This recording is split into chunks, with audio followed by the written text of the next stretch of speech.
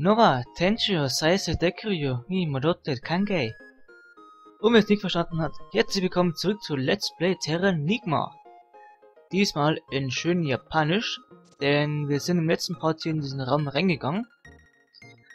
Was ja Quintet ist, und ich habe jetzt nicht gerade so nachgeforscht, aber ich glaube, das wird schon das Entwicklerstudio sein, da komme ich auch immer durcheinander, wer ist der Entwickler und wer ist der Publisher. Ich weiß zwar, der eine macht's und der andere bringt's raus. Vielleicht war es irgendwie so, ich weiß nicht genau. Aber jetzt gucken wir uns erstmal hier an, bevor wir weiter in der Story gehen. So, dann würde ich mal sagen, ähm, erstmal gehen wir mal, ach, gehen wir mal da lang. So, den Programmierern fängt ja schon mal super an. Und da ist ein Pinguin. Okay. Was hast du zu sagen? Hallo, ich bin Aki, der Computerexperte. Finde ich jetzt auch ziemlich lustig, denn ich habe mich in ein paar Foren auch immer Aki genannt. Beziehungsweise ganz, ganz, ganz am Anfang meistens als, ja, da war ich ein ziemlicher Naruto-Fan und da gibt's ja die Akatskis und hatte ich immer die Abkürzung Aki. Also genau so, nur ohne den C. Finde ich jetzt auch ziemlich witzig. Es gibt einen Aki, der Computerexperte ist. Und das ist ein süßer Pinguin. Yay! Gut. Okay, mehr ist eh nicht zu sagen. Genauso redselig wie ich. So, was hast du zu sagen? Mach mal zwei Tage Urlaub. Das hast du dir einfach verdient. Was? Okay, ich arbeite zwar nicht hier, aber danke. Oh, das ist ein Teddybär. Hallöchen. Hallo, ich bin Annette. Ich koche Kaffee und singe dabei. Alles klar. So, dann. Ich habe irgendwie keinen Plan, wie ich hier entlang laufe, aber so groß ist das Gebäude auch nicht. Zur Tonabteilung. Wo wir diese schönen Sounds herkriegen. Wie gefällt dir die Musik, die ich komponiert habe? Die ist einfach zum Kotzen. Nee, die ist schon cool. Ich habe seit einer Woche die gleiche Unterwäsche an. Nicht nur du. Ne Quatsch, du bist der Einzige. So, wen haben wir denn noch alles hier? Zum Chef gehen wir später mal. Da kann man nichts machen, oder? Nö. Ich glaube, bei keinem PC kann man was machen. so, das Büro Müsste jetzt eigentlich woanders sein, weil der Chef da links ist, aber okay. Ich bin Larry, der Praktikant. Von mich wird man noch viel hören. Von mir. Okay, von dir höre ich irgendwie nix. Auf geht's! Im nächsten Monat habt ihr zwei Tage frei. Schafft was! Okay, die geben mir schon mal Urlaub, obwohl ich gar nicht arbeite. Ist ja super. Beziehungsweise gegen den Tisch laufen ist ja eine Riesenarbeit. Apropos, wir werden auch demnächst mal die Supertreter kriegen. Das zeige ich auch mal. Denn das ist auch ziemlich cool. Wir haben noch zwei Plätze frei. Da kommen noch so Superschuhe rein, damit wir schneller laufen können. Und hier rechts kriegen wir dann demnächst im nächsten Dungeon ein Zauber zum Tauchen, glaube ich, damit man unter Wasser die Luft anhalten kann. Dann haben wir auch schon alle fünf wichtigen Items, die uns neue Fähigkeiten geben. Aber dazu erst später. Ab ins Labor. Guck mal, wer da ist. Gamera. Okay. Dies ist das Schmusetierchen von Annette. Alles klar. Das ist mein Arbeitszimmer. Hier entstehen die besten Szenen des Spiels. Aber hier ist es ziemlich einsam. Hilf mir doch bei der Arbeit. Okay, ich glaube, du hast die Arbeit schon geschafft, oder? Ich weiß nicht, ich spiele ja gerade. Außer er war zu faul und am Ende gibt es einen großen Bug. Den es auch eigentlich gibt, denn man kann hier oder hier irgendwo in der Nähe den allerletzten Dings finden, den allerletzten Kristall, den man in der europäischen Version nicht spielen kann, also nicht kriegen kann. Deshalb auch so ein kleines Drama wegen den Kristallen habe. Was machen hier die Frösche? Hallo, ich entwickle gerade eine Katastroph einen Katastrophenplan. Alles klar. Am liebsten laufe ich barfuß durch die Gegend. Erinnert mich gerade an den Song, da gibt's auch Kaulquappensocken, oder? Von irgendwem. Ja, also irgendeine Parodie auf, irgendeine, auf irgendwas. Ähm. Ich weiß schon gar nicht mehr. Ich überleg's mir mal. Vielleicht fällt es mir später ein. Hi, ich bin Hans. Ich esse alles. Hast du etwas? Nur du kriegst nix. Und das kennen wir ja. Das Schlafzimmer. Hallo, ich heiße M und arbeite in der Abteilung für allgemeine Angelegenheiten. Hier müffelt es ein wenig. Die Programmierer schlafen hier. Okay. Und da ist ein Kuscheltier, ist ja cool. Wir können einfach reinlaufen. Ach, sowas mag ich ja. Ist ja cool.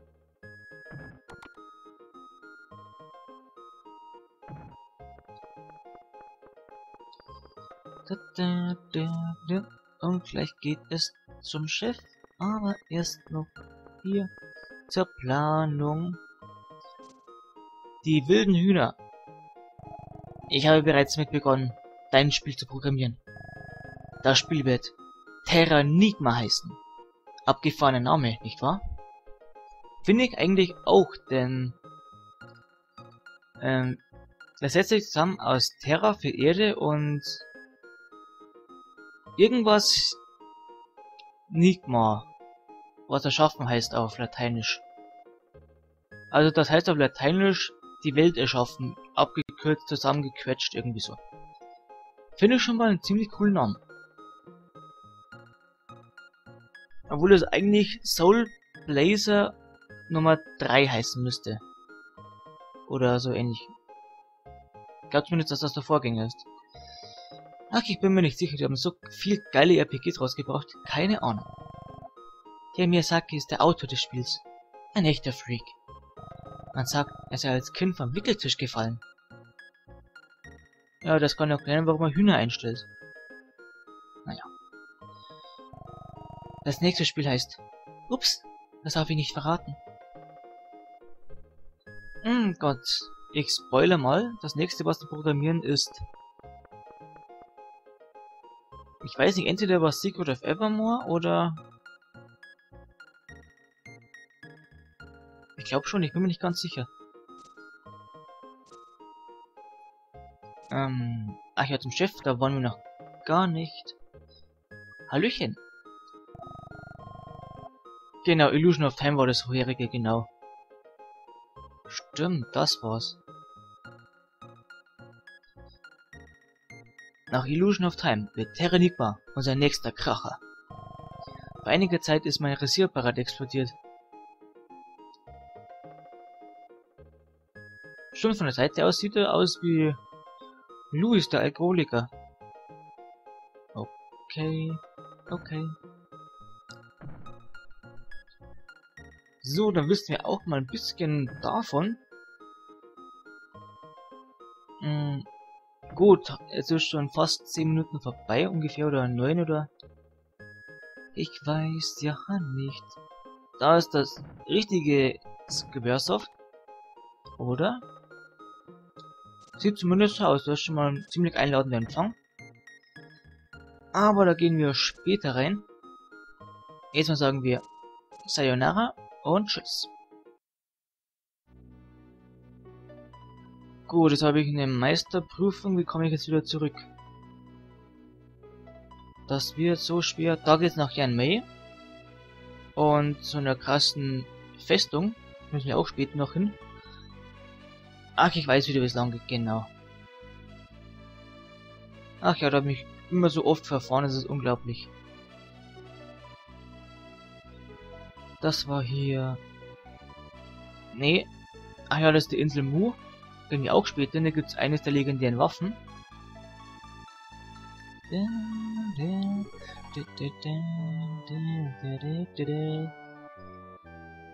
Ja, die Musik ist schon ziemlich cool.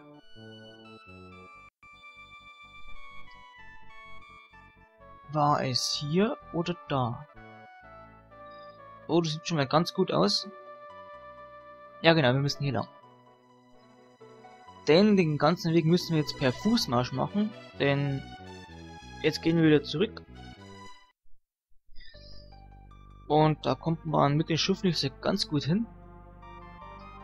Also müssen wir es wieder per Fußmarsch erledigen. Aber das ist ja nicht so schlimm. Ach, das wird ein schöner Dungeon. Der erinnert sehr an den allerersten Dungeon, den wir hatten mit den Pflanzen.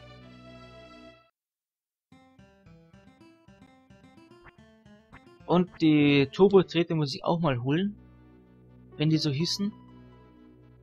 Genau, an solchen Anlegestellen können wir nicht anlegen. Was ziemlich blöd ist, und hier in der Nähe ist auch sonst nichts anderes, aber wir haben es ja per Fuß geschafft, also kein Ding.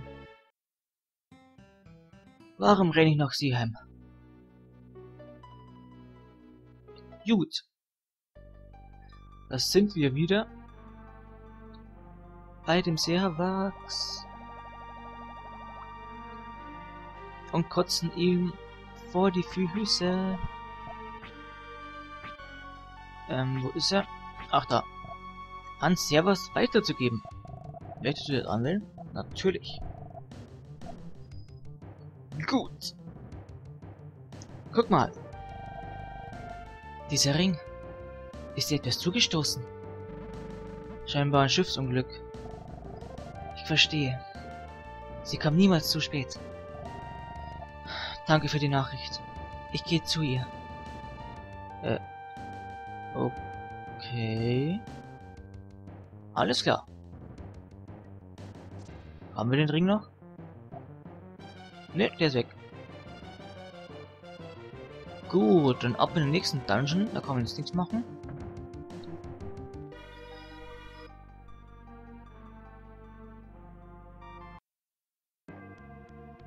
Was war denn das jetzt?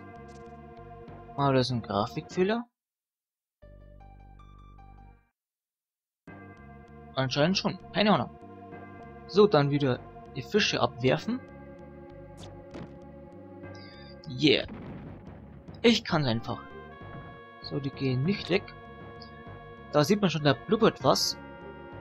Da können wir dann später tauchen. Um voranzukommen. Schwimmen können wir ja schon. Das machen wir. Ah. Dann halt so. Gut. Da wird aber auch nichts versteckt, oder? Ne. Gut. Ach, wie ich diese vermisst habe.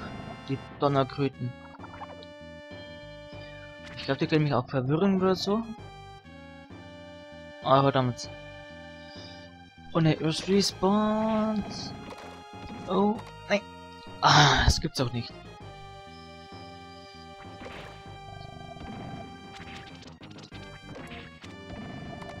Gut. Und wir kriegen das Odemskraut. Super. Genau, das war so. Der Odemskraut und da später hier die Turbotreter. Man merkt schon, langsam neigt sich alles dem Ende zu, aber wir haben ja noch einiges zu tun zum Atmen unter Wasser. Schönes Ding, du. So. Die machen wir noch schnell platt. Komm, komm, komm. Ha. So. Und jetzt dahin. Und tauchen. Da, da, da, da, da, da, da.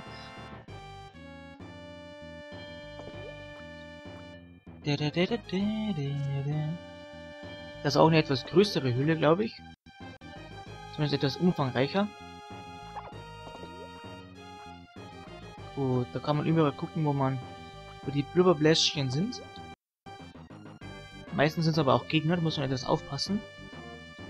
So, und jetzt erstmal runter hier. Gut. Gut, da war auch nix. Immer gucken. Ah, die waren auch so nervig, die komischen Schleime da. Die Ekelschleim.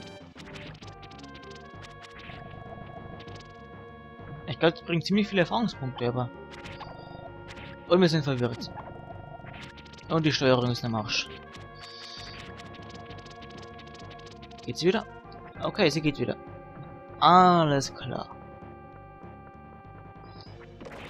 So, die Blumen kennen wir vom allerersten Dungeon. Und langsam wird's verwirrend. So, wo geht's hier lang? Was? Der Schatten. Was ist das denn? Was ist das für ein Schatten? Hilfe! Helft mir doch! Ich dachte, ich hätte was. Okay. Da gehen wir später hin. Denn ich glaube, ich habe was vergessen. Ah, wie schön alles respawnt.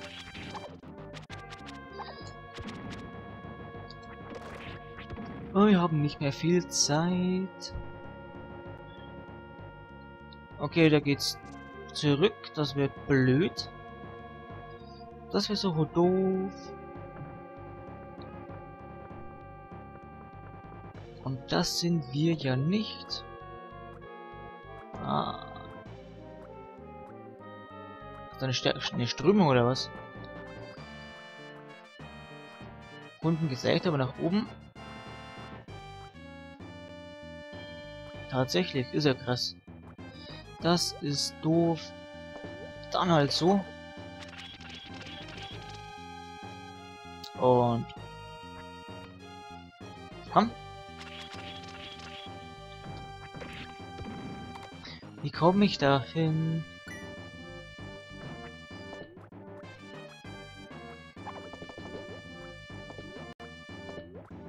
Komme ich nicht mal hoch?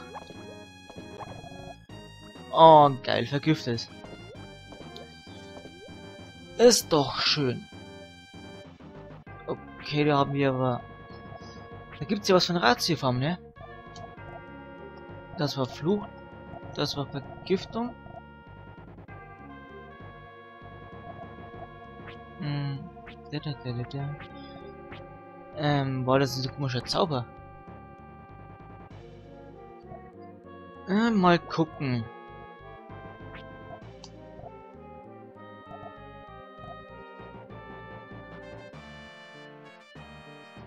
Oder das war der falsche.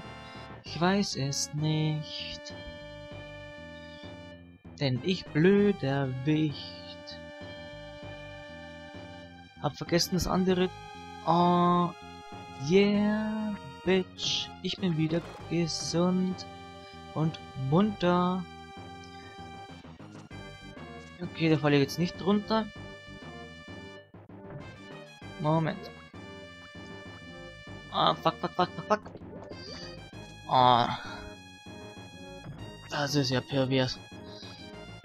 Da komme ich auch nicht lang. Was geht denn? So, aber da komme ich hin, genau. Musst du die vielleicht besiegen oder was? Ich weiß schon gar nicht mehr. Irgendwas war da. Hier sieht das schlecht aus. Nicht runterfallen. Gut, die Zeit ist eh schon wieder abgelaufen. Ich gerade sie. Dann...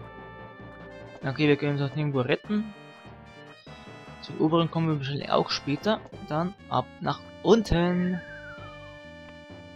Ja, das wusste ich. Wir kriegen den Drachenanker. Ein ziemlich versteckter Gegenstand. Was war das nochmal? Ich weiß schon gar nicht mehr. Also ich glaube, eine Waffe war es nicht. Gibt Halt in starken Strömungen. Ja, mit denen ist man nicht gerade so aufgeschmissen. Okay. Tatsächlich. Okay, hochschwimmen kann, kann ich zwar nicht mehr, aber will ich ja auch nicht. Gut, die waren, glaube ich, blöd zu besiegen, die da. Müssen nur die Augen offen halten. Im wahrsten Sinne des Wortes.